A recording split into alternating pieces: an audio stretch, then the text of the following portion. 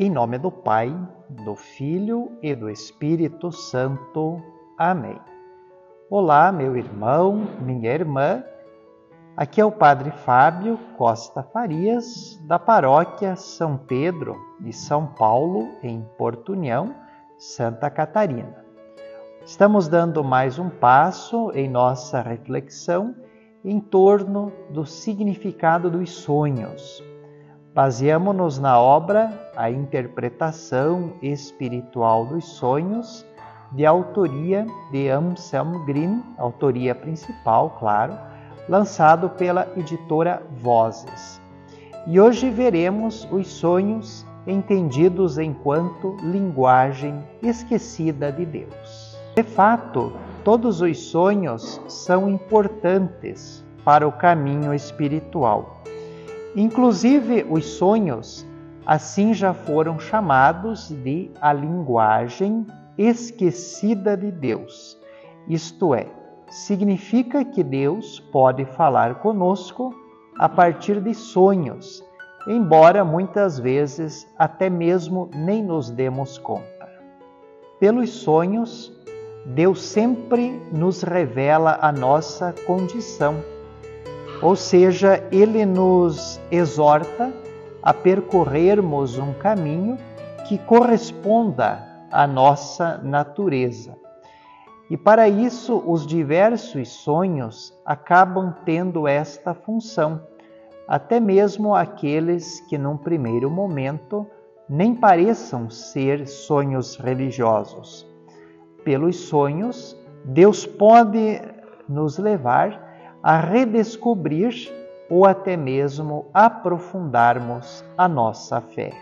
De fato, Deus serve-se de muitos modos para falar conosco.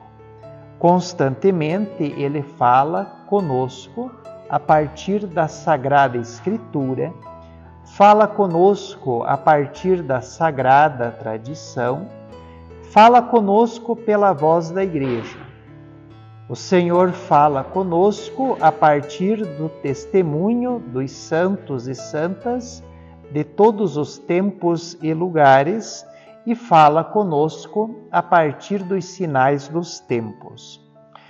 Os místicos e orantes dos tempos antigos estavam convencidos de que Deus também podia falar conosco por meio de nossos pensamentos e através dos sonhos. Com efeito, por meio dos pensamentos, sentimentos, visões, por meio dos sonhos, Deus revela a nossa verdade. E também o Senhor fala conosco através de nosso corpo, através de nossa dimensão corpórea por meio das enfermidades e mazelas que possam aparecer, Deus quer nos sacudir, Ele quer nos acordar, a fim de vivermos mais de acordo com Ele. Jesus, Maria e José, a minha alma e o meu coração eu vos dou. Abençoai, Senhor, o meu descanso e reparai as minhas forças, para que possa vos servir melhor e com mais fervor.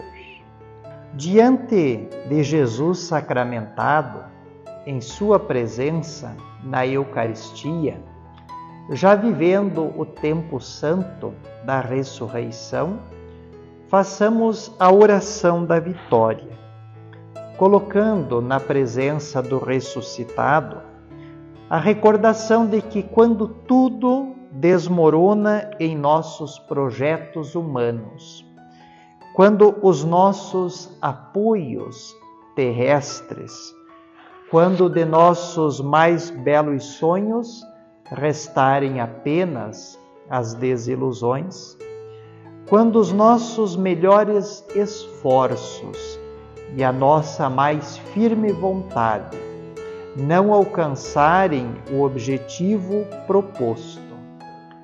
Quando a sinceridade e o ardor do amor nada conseguem, Tu, Senhor, permaneces ao nosso lado, indestrutível e forte, o nosso amigo que tudo pode.